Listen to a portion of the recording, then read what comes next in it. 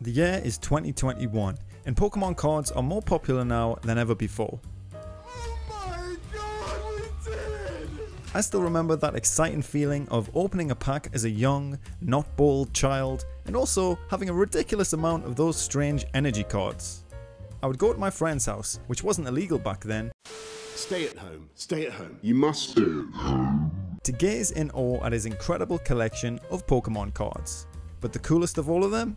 The rare, shiny Charizard. And he had at least three, that son of a bitch. Charmander was my favourite starter Pokemon, so it makes sense that the ultimate evolution as a shiny is the holy grail of all cards to me. It might just be nostalgia, but it would be really nice to finally own one. I wonder how much they're going for. Shiny Charizard card.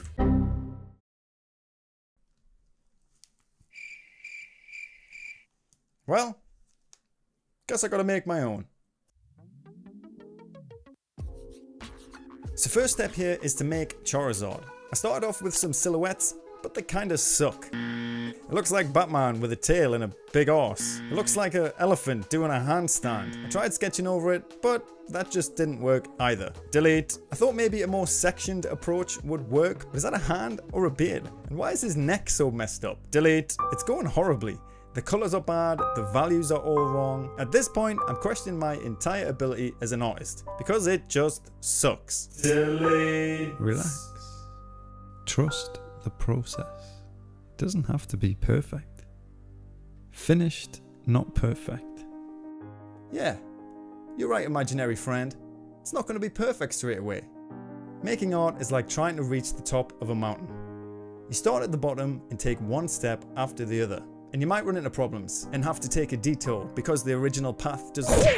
You're only drawing a Pokemon. I'm really happy with how it turned out. I'm glad I didn't just delete it again and give up. And with that win behind my back, give me enough energy to ride the wave through the rest of the Pokemon card process. Get some references, match the sizes, bish bash bosh, we got ourselves a pixel art Pokemon card. But it's only 2D.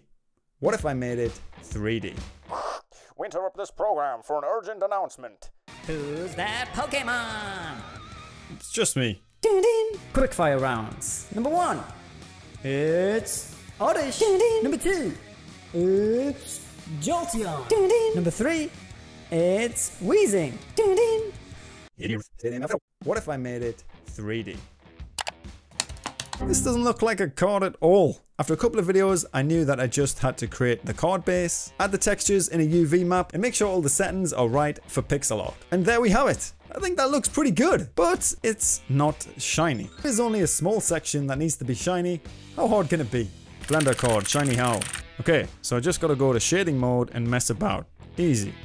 Well, that's not quite right. How make only one part shiny blender? So I need to make a texture mask for the area that I want to be shiny. This doesn't look right at all. What the f- You know what the problem is? I'm used to layers.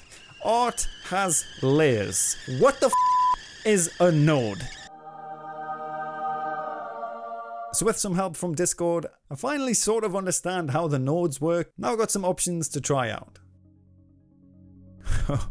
oh, and there it is.